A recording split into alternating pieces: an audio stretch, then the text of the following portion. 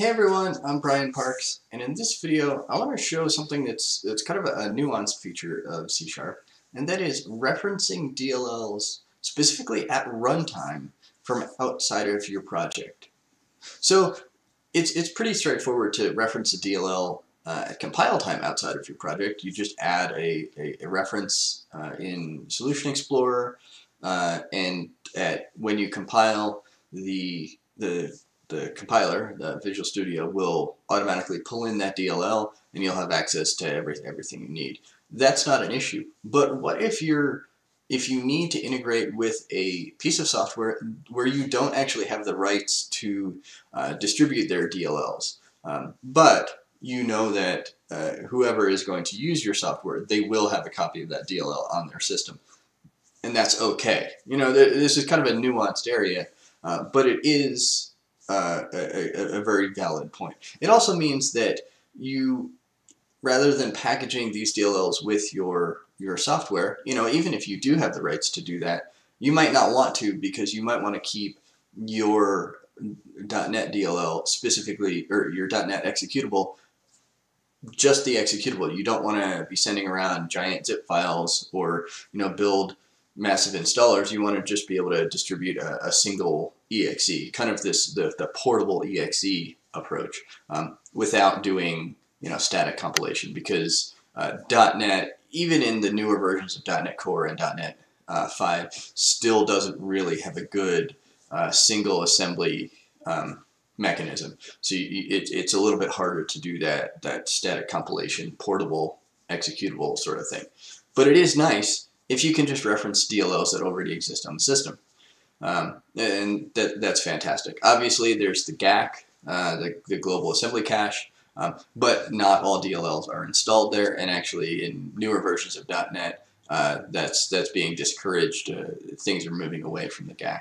Um, but that doesn't mean that the assemblies that you need aren't already installed on, on the system, especially if you're trying to integrate with a specific program that you know people are going to be using. So let's let's get into a demo and uh, here I have Visual Studio uh, pulled up. I just created a new .NET Framework application. Uh, what I'm going to show does work in .NET Core as well, um, but I, I picked .NET Framework because it's it's where I, I was, it's what I was using when I, when I had to had to solve this problem. So as I mentioned, you can easily just go references, add reference, go to browse, and let's say, you know, this, this shutterpilot.printing DLL. Um, Shutterpilot is one of my companies. Uh, obviously, I have the rights to this DLL, so this this is less of an issue. But it's a it's a DLL that I know I can show on camera and uh, and, and show using. So obviously, you could just say that and then say OK, and then you're good. And then let me let me pull this properties window out and it's in the middle here. You'll notice this copy local true. Uh, this is how you would normally do things if you just uh, grabbed a, a, an assembly, you know, maybe you downloaded it from from a vendor, you know, Telerik or uh, DevExpress or something like that. Uh, you installed the DLLs, and then you could reference them directly and uh, package them up with your app. That's not a problem. But what we're going to show, let me dock that window again, is how you can actually reference them without uh, without really doing that. Um, so the important part is that at runtime, there is no uh, um, that that DLL is not loaded into your um, your app domain, your program. Uh, immediately. It's only loaded when it's referenced. So that means that when program.cs runs, even if I have that, that reference over there, that DLL will not get loaded because I don't use it anywhere. And that's an important point that we'll actually come back to in a minute. But let's say we don't want to ship that shutterpilot.printing DLL with this particular program. But we know that it is going to exist on disk. Let's say uh, in, this is just going to be a string, um, see my DLLs. Right, totally contrived path, but you get the idea. That's great, but how do we tell the .NET runtime to look there? Well, it turns out that there's this uh, event on the app domain. So app domain dot current domain. For some reason, IntelliSense is not uh, cooperating with me today, but I promise it's there. It's this assembly resolve event. So let's do that. And sure, let's let's grab that name. Okay, so now we have this method here, and you'll notice that it take it's just an event handler. It takes a, a sender and some args, and it returns an assembly. And this is the assembly from the system.reflection namespace. So this this is important. It's not just a piece of code that runs and maybe it does something and maybe it doesn't. This event handler has to return an assembly, which actually can be null. We'll see that in a minute. So how do you load an assembly? Well, typically you do assembly dot uh, assembly dot load. The problem with that is that it takes an assembly string. This is the the long form of the name. So when you see um, in the output window when when .NET processes start up, you'll see the list of assemblies that it's loading. That's the long name, uh, which is really just the name of the assembly uh, maybe the name of the file that it's in, but it doesn't include things like the actual path to the file. So the runtime is responsible for finding those assemblies. However, there is another function, uh, another static function on the assembly class called load from, and that takes a path. So in this case, we could do you know, let's grab DLL location. It's actually removed from there because we're not going to use it up there. DLL location, we could say path dot combine DLL location and something. We'll get back to the something. Obviously, we need to using in order to use paths, we need system.io. Now let's look in this args because that's where we're actually going to get the name from. So args dot name. Pretty straightforward, right? Now I don't recall. We'll have to find out together. I don't recall if the name actually includes the .dll or if it uh, or if it, it if it's just the the, the name without the extension. So, that's basically it. Now, the question is, what happens if this DLL doesn't exist in that location? Well, this assembly.load from call will throw an exception, and that's bad. We don't want that. So what we really want to do is do a, let's actually do this path.combine separately.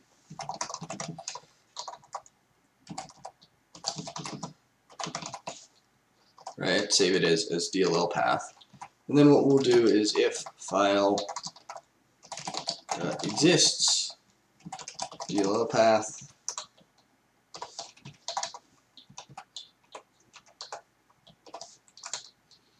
else will return null. And again, assembly.load from uh, does return an assembly, so we can just return that because we do need to return an assembly from this this method. We'll, uh, we'll pass DLL path there. All right, so now let's actually do something that requires uh, this uh, this code to run. So let me set a breakpoint on line 22 here. And now we get to the next nuance. And that is that, as I mentioned before, this code has to be in place before you try to reference something from uh, that, that DLL. And that DLL is only pulled in, uh, or the runtime attempts to resolve it as soon as it knows it's going to need something from that assembly. The question is when, when is that? And it turns out that that is whenever you reference a type that depends on that assembly. So basically, the short version is if you have a using that uh, points to that assembly, that means that file or that class will cause the loading of that assembly when it's loaded. So if I try to, to be honest, I don't remember what's in shutterpilot.printing. It's been a while since I wrote that DLL.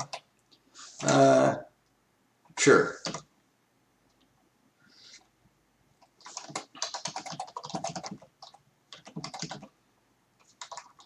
I think even that will trigger it. So we'll set a breakpoint here, we'll set a breakpoint here. And if I run this, what you'll see is that it'll load just fine because I didn't actually make one important configuration change.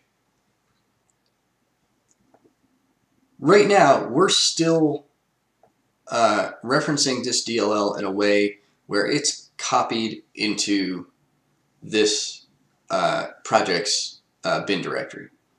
Now what I want to do is click false for copy local so that it doesn't copy it. I can still reference it, I can still get IntelliSense from it, it just won't be copied when the project builds. So that's good.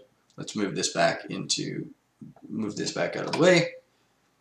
And I'm going to clean because that DLL has already been copied to the output directory. I want it to go away. And now let's try it again. So now we hit that breakpoint and it worked just fine. I think there's still something weird going on. Give me just a second here.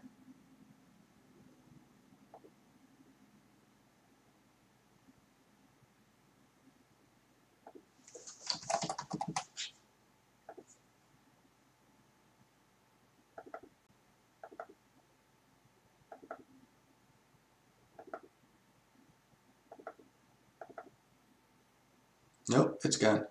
So I think I think I didn't actually trigger it because it doesn't really care what that type is. Let's do new JSON print template. I'm pretty sure that type has a, has a constructor. So when I try to run that, I don't need this this anymore.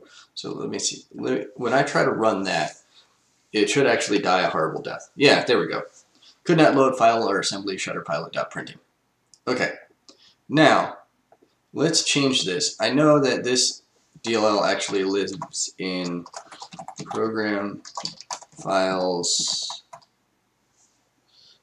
x86 uh, shutter pilot capture. Though you'll notice this breakpoint was hit this breakpoint was not.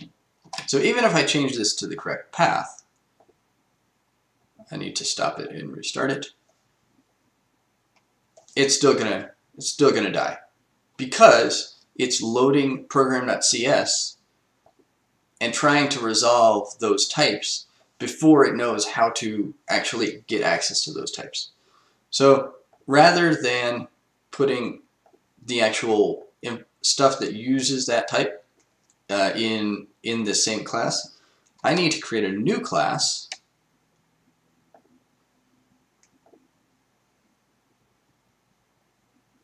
add class and I'm going to be very uninventive here. We'll call this class the do stuff class.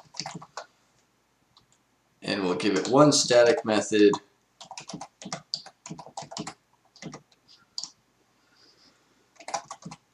called run. Takes no arguments. All it's going to do is that run that same line of code. Guess this will need to be internal's fine, but let's let's be explicit and make it public. And here you need to do do stuff dot run dot run. Right?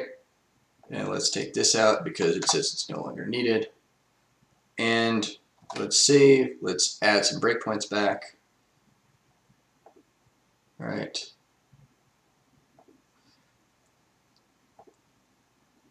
All right, it looks like we forgot to add some usings. There we go.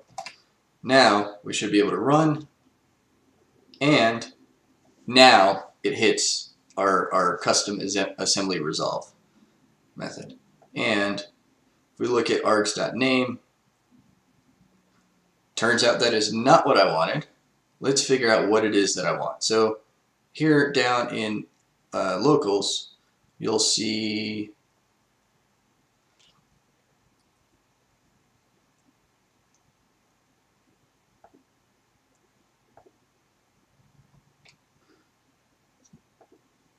you'll see that information down in args.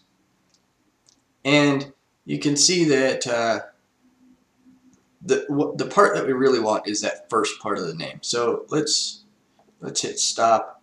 Let's do args.name.split on comma and get the first item. Right, that seems reasonable. That's got to be a character. There we go. And we'll probably want to add .dll to the end, right? DLL, there we go. Okay, obviously not going for performance here, you can clean this up a little bit. But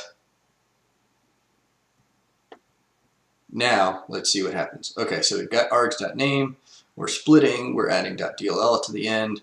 DLL path should be something reasonable. Yep, that looks right. And now, if file exists, file does exist, return assembly.load from, continue, and now we hit our breakpoint. Success. So now, if I go back to here, bin debug, this is where it's running from, you can see, even if I refresh, that DLL has not been copied here. And as evidenced by the code that runs, it can't load it from the local directory. It goes and runs my custom assembly resolve method and is able to pick it up from the, the directory that I specify. So, a lot of nuanced things there, uh, but that's basically it. Uh, there is actually another way you can handle this, which uh, is certainly a more advanced topic, but by way of teaser, we'll do app domain, and I'm not actually going to run this, but app domain.create domain, and we'll hit F12, there is an overload, there are a couple overloads actually, that have this app base path. And what that means is that uh, rather than running uh, as if the app is running in the current directory where the, the entry point is, um, this doesn't change the current working directory, by the way. This just changes the app base path where the app thinks it's running from for purposes of resolving uh, DLLs. So you can actually specify an app base path of somewhere else, and then you don't have to go through the the um, all of this current domain assembly resolve stuff uh, because it'll just pick up DLLs from uh, the, the path that you specified there. Of course, if you do want to access DLLs that are in the same directory as the, uh, the entry point for your program, then you will have to do this current domain assembly resolve. So you could do something like a single executable with no other dependencies, creating a new app domain to run stuff in that has as its app base path some other directory and then do everything in that other app domain. Again, that's a more advanced topic for a separate video, um, but hopefully this gives you an idea of how you can reference uh, DLLs from other programs uh, kind of as if they're plugins and not have to ship them with your own code. So, if you found that interesting, go ahead and give this video a like. Uh, subscribe to the channel for more like this, uh, and I also do uh, some other uh, types of videos on the channel as well. You can you can check out uh, previous videos for examples of some of those. Share this with your friends, coworkers, anyone you think might be interested in it. Uh, I think this is a really interesting topic, and I think this is a really cool thing that C Sharp is able to do. Uh, so I, I, as you can tell, I love talking about it. But that's it for this video. Thanks for watching, and have a great day.